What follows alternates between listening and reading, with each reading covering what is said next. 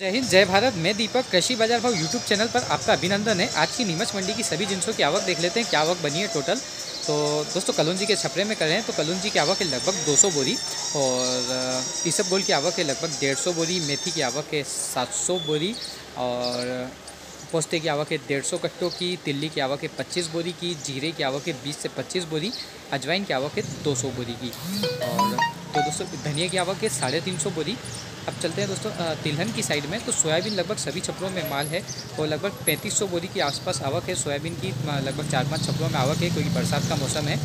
और रायडे की बात करें तो लगभग सौ बोरी के आसपास रायडा हाल फ़िलहाल देखने को मिला है, मगर आवक बढ़ सकती है क्योंकि गाड़ियों में माल है, इसलिए पता नहीं पड़ रहा है कि कितनी आवक है। अलसी की बात करें तो अलसी की भी हाल फ़िलहाल प्लेटफॉर्म पर सौ बोरी की पक्की आवक है।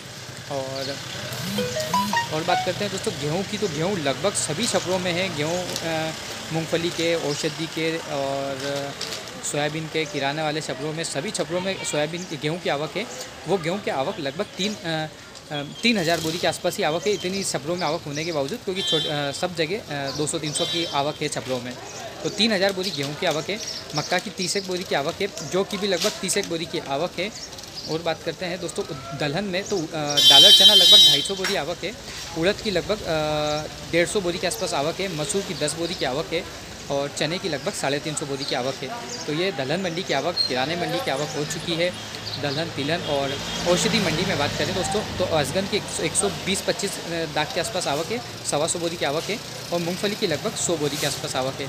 तो और लहसन की बात करें तो लगभग साढ़े आठ हज़ार बोरी पक्की आवक है जो लगभग नौ साढ़े नौ हज़ार तक बन सकती है मगर साढ़े आठ हज़ार बोरी हाल फ़िलहाल आवक है दो सौ कट्टे प्याज की आवक है दो सौ कट्टे की।